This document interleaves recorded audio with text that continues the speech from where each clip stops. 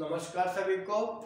मैं प्रशांत शर्मा नव भारती सर्किल में study circle में आपका हार्दिक स्वागत करता हूँ, हार्दिक अभिनंदन करता हूँ। दोस्तों हम प्रत्यय का प्रकरण पढ़ रहे थे जिसमें हमने कृदंत और तद्धित प्रत्यय को पढ़ लिया था। आज हमारा जो एक प्रत्यय और रह गया है स्त्री प्रत्यय उसके बारे में हम जानकारी करेंगे। स्त्री प्रत्यय का आज हम अध्ययन करेंगे। ठीक है दोस्तों, देखते हैं। देखिए, स्त्री प्रत्यय स्त्री प्रत्यय। स्त्री प्रत्यय क्या होता है? सबसे पहले इसकी जानकारी करेंगे। स्त्री प्रत्यय जो है, पुलिंग शब्दों में जिन प्रत्ययों को लगाकर हम स्त्रीलिंग या स्त्रीवाचक शब्द बनाए जाते हैं, उन्हें स्त्री प्रत्यय कहते हैं। ठीक है? जो भी पुलिंग शब्द जो है, उनमें जिन प्रत्ययों को लगाकर हम स्त्रीलिंग बनाते हैं या स्त्री वाचक बनाते हैं, उन्हें हम क्या कहेंगे? स्त्री प्रत्यय कहते हैं। ठीक है दोस्तों? आगे देखिए। ठीक है ना? स्त्रीलिंग या स्त्रीवाचक शब्द बनाए जाते हैं, उन्हें हम स्त्री प्रत्यय कहेंगे। इसमें कौन कौन से हैं? आ पहला कौन सा है? आ टाप डाप चा। ठीक है? आ में हम कौन सा देखेंगे? टाप डाप और चा। दूसरा कौन सा ई डीप डिश डीप ठीक है? तो सबसे पहले हम कौन सा देखेंगे दोस्तों? आ, यानी कि इसमें हम टाप डाप और चाप तीनों को हम देखेंगे। ठीक है? देखिए, क्या कह रहा है?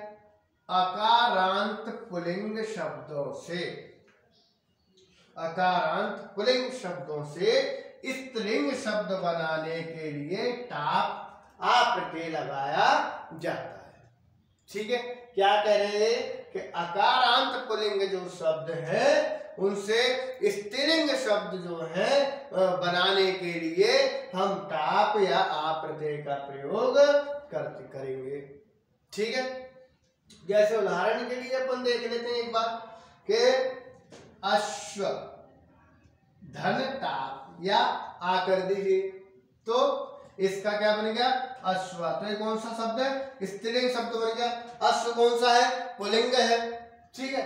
अश्व यानी घोड़ा, अश्व यानी घोड़ी हो गया। ठीक है ना? सुतः धन टाप सुतः धन, ताप या आ तो सुता हो गया। ठीक है ना दोस्तों? यानी कि हम पुलिंग शब्दों से टाप जोड़ करके स्त्रीलिंग शब्दों को हम बना रहे हैं। ठीक है? सरल धन टाप तो सरला। ठीक है? प्रथम धन टाप तो प्रथमा। यानी कि हमने क्या कर रहे हैं हम? स्त्रीलिंग बना करके हम स्त्री प्रत्यय का जानकारी कर रहे हैं स्त्री प्रत्यय का हम अध्ययन कर रहे हैं। आगे देखते हैं दोस्तों। देखिए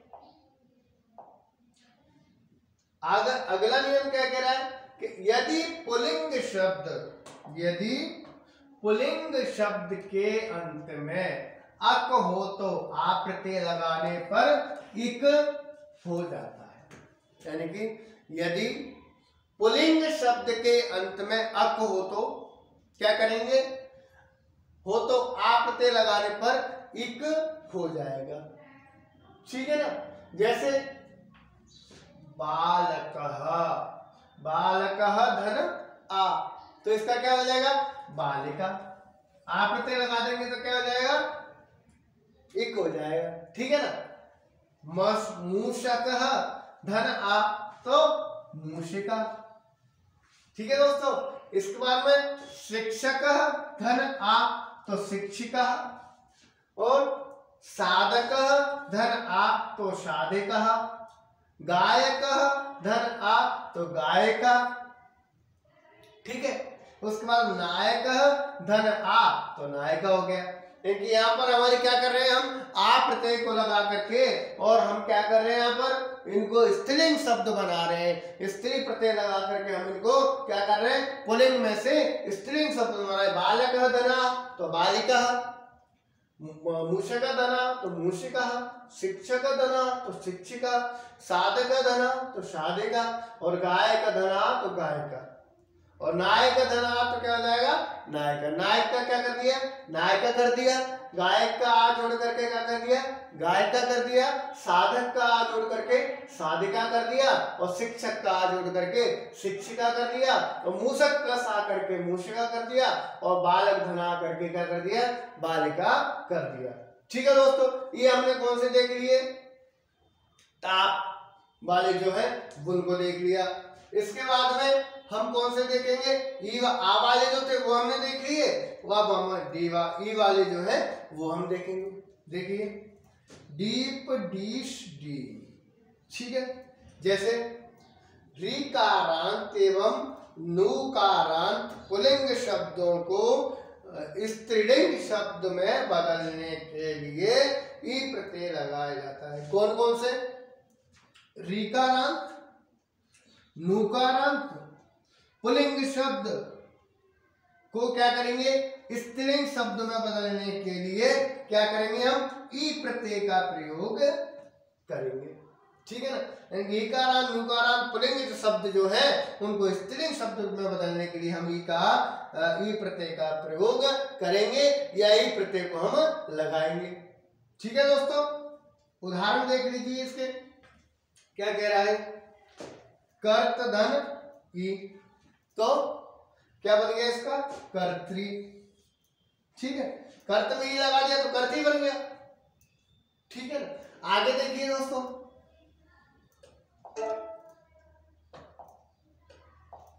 देखिए दात्र धन तो क्या हो जाएगा? दात्री हो जाएगा। ठीक है? धात्र धन ई तो धात्री ठीक है? और तपस्विन धन ई तो तपस्विनी ये सारे जो है वो क्या है? वो पुलिंग शब्द जो है। ठीक है? अब इसमें हम ई को जोड़ देंगे तो इसको ई को जोड़ने के लिए क्या कर रहे हैं हम? स्त्रीलिंग हमें बना रहे हैं। तो इसका क्या बन गया? दात्री बन गया। और इसका दूसरे का क्या बन गया? धात्री बन गया। ठीक है? तपस्विन में ई जोड़ेंगे तो तपस्विनी बन गया। ठीक है दोस्तों? उसके बाद में क्या है? गुणिन में, गुणिन शब्द में ई को जोड़ देंगे तो गुणिनी बन गया। ठीक है दोस्तों, इसके बाद अगला जो है, वो हम अगला जो नियम देखते हैं, उसमें क्या कह रहा है, देखिए, कि अकारांत पुलिंग शब्दों तथा कतिपय जातिवाचक शब्दों में भी ई प्रत्यय लगाकर स्त्रीलिंग शब्द बनाया जाता है। ठीक है? वहाँ रिकारांत और नुकारांत शब्दों में क्या कर रहे थे? पुलिंगों से स्त्रीलिंग बना रहे थे। यहाँ अकारांत पुलिंग शब्द जो है, उसमें कभी कभी जातिवाचक शब्दों में भी क्या करेंगे हम? ई प्रत्यय लगा करके हम क्या करेंगे? उनको स्त्रीलिंग बना देंगे। ठीक है? जैसे देखिए, नद प्लस ई। तो नद शब्द में ई प्रत्यय जोड़ दिया तो क्या बन गया दोस्तों हमारा? नदी बन गया। ठीक है? देवधन ई तो देवी बन गया। ठीक है? भयंकर धन ई तो भयंकर ही हो गया। उसके बाद गोप धन ई तो गोपी हो गया। महेश धन ई तो महेशी हो गया। शुकर धन ही तो शुकर ही हो गया। ब्राह्मण धन ही तो ब्राह्मणी हो गया और मृग धन ही तो मृगी हो गया। यानी ई जितने भी शब्द हैं, वो सब पुलिंग है और इसमें हम ई जोड़ करके, ई प्रत्यय लगा करके इनको स्त्रीलिंग शब्द बना रहे हैं। नद में ई जोड़ दिया तो नदी बन गया हमारा। ठीक है दोस्तों? उसके बाद देव में ई जोड़ दिया तो देवी बन गया। ठीक है? भयंकर में ई जोड़ दिया तो भयंकरी बन गया। गोप में ई प्रत्यय को लगा दिया तो गोपी बन गया। ठीक है? महेश में ही प्रत्यय को लगा दिया तो महेशी बन गया। शुकर में ही प्रत्यय को लगा दिया शुकरी बन गया। और ब्राह्मण में ही प्रत्यय को लगा दिया तो ब्राह्मणी बन गया। और मृग में ही प्रत्यय को लगा दिया तो क्या बन गया दोस्तों? हमारा मृगी बन जाएगा। आगे देख लेते हैं। आगे और भी क्या बोल रहा है? ठीक है? देखिए। इसमें क्या कह रहा है दोस्तों? इसमें बोल रहा है कि जो देखो आगे क्या बोल रहा है कि दिगु समास का अंतिम शब्द यदि अकारांत है तो ई प्रत्यय लगता है। ठीक है? इसमें क्या कह रहा है कि दिगु समास का क्या है? अंतिम पद जो आ, अंतिम पद यदि अकारांत है तो क्या लगेगा? ई प्रत्यय इसमें लगता है। जैसे त्रिलोक धन ई त्रिलोक धन ई तो इसका क्या हो गया दोस्तों? त्रिलोकी हो गया। पंचवट धन ई तो इसका क्या हो गया? पंचवटी हो जाएगा। ठीक है ना? आगे देखिए। शर्त प्रत्ययांत शब्दों को स्त्रीलिंग में बदलने के लिए ई प्रत्यय लगता है। शर्त प्रत्यांत जो शब्द हैं, उनको क्या करना है हमें? स्त्रीलिंग में बदलना है। ठीक है? तो स्त्रीलिंग बदलने के लिए हम क्या करेंगे? ई प्रत्यय लगता है। ठीक है? देखिए जैसे, गच्छत धन ई। गच्छत धन ई। तो गच्छत में ये लग जाएगा तो क्या बन जाएगा? गच्छन्ति। ठीक है? बदत धन ई तो इसमें क्या हो गया? बदंती हो जाएगा। दर्शयत धन ई तो इसमें क्या हो गया? दर्शयंती हो जाएगा। ठीक है? इसके बाद में एक और नियम क्या बोल रहा है कि इसके अतिरिक्त भी ई प्रत्यय के योग से स्त्रीलिंग शब्द बनाए जाते हैं। यानी कि इसके अतिरिक्त भी ई प्रत्यय के योग से क्या करते हैं हम? स्त्रीलिंग शब्दों को बनाते हैं। जैसे देखिए, श्रीमत धन ई। श्रीमत धन ई तो इसका क्या होगा दोस्तों? श्रीमती हो जाएगा ठीक है? इसके बाद हम आगे की ओर चलते हैं।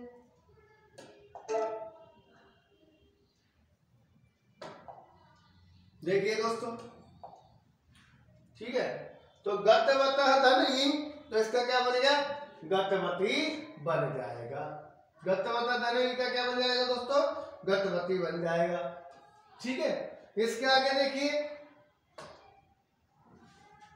जया, अर्थ में भी क्या होगा? पुलिंग शब्दों से डी से प्रत्यय लगाया जाएगा। इसमें क्या हो रहा है? कि जाया जाया अर्थ में भी पुलिंग शब्दों से डी से ई प्रत्यय लगाया जाएगा। जैसे इंद्रधन डींस तो इंद्राणी, ठीक है? वरुण धन डींस तो वरुणानी। ठीक है?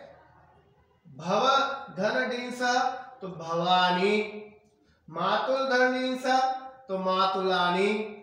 रुद्र धन तो रुद्राणी। ठीक है? यानी कि इसमें क्या कह रहा है कि जाया अर्थ में भी पुलिंग शब्दों से ड्रिंग ड्रिंक्स प्रत्यय, ई प्रत्यय लगाया जाता है। तो इसमें क्या हो जाता है? इंद्रडींस तो इंद्राणी बंद्र ई को लगा देंगे तो बर्वाणी, और भव धन डींस तो भवानी, और मतुल डींस तो मतुलानी, और रुद्र तो रुद्राणी हमारा बन जाएगा। आगे देखिए दोस्तों, के कुछ शब्दों से स्त्रीलिंग शब्द बनाने के लिए आ और ई दोनों प्रत्ययों को लगाए जाते हैं। और कुछ शब्दों से हम स्त्रीलिंग बनाएँगे तो उसमें क्या करेंगे? आ और ई दोनों प्रत्यय जो है, उनको हम लगा देंगे। जैसे देखिए, आचार्य आचार्य आचार्य जो स्वयं पढ़ाती है, वो कौन है? आचार्याणी। आचार्याणी कौन है? आचार्य की पत्नी है। ठीक है? उपाध्याय, उपाध्याया। उपाध्याय, उपाध्याया उपाध्यायनी एवं एवं क्षत्रिय, क्षत्रिया, क्षत्रियाणी। ठीक है ना? इसमें मतलब आदि लग जाएगा और ई भी दोनों को लगा करके हम बना देंगे। ठीक है, उपाध्याय में आ लगा दी तो उपाध्याय, ये लगा दी तो उपाध्याय ठीक है? इसमें उपा आचार्य में आचार्य, या आचार्यणी। ठीक है? इसमें क्षत्रिय, आ लग गया तो क्षत्रिय और ई लग गया तो क्षत्रियाणी। ठीक है? आगे देखिए दोस्तों, आगे ती प्रत्यय है। एक ती प्रत्यय है, उसमें भी हम थोड़ा सा देख लेते हैं। देखिए। के ती प्रत्यय क्या है? यू वन शब्द से, यू वन शब्द से स्त्रीलिंग बनाने के लिए ती प्रत्यय लगाया जाता है। ठीक ये क्या कह रहा है? युवन शब्द जो है, उससे स्त्रीलिंग बनाने के लिए हम क्या करेंगे? ती प्रत्यय को लगाएँगे। जैसे देखिए, इसका उदाहरण जो है युवन धनती तो इसका बन गया दोस्तों, युवती। ठीक है ना दोस्तों? इसका क्या बन गया? युवती हमने बना दिया है। ठीक है दोस्तों? आज हमने स्त्री प्रतीक जो है, उसके बारे में हमने पढ़ लिया है। दोस्तों, हमारा जो प्रत्येक का प्रकरण जो था, वो आज यहीं पर समाप्त होता है। अगली कक्षाओं में हम कारक आदि प्रकरणों के बारे में अध्ययन करेंगे। आज के लिए इतना ही। धन्यवाद दोस्तों।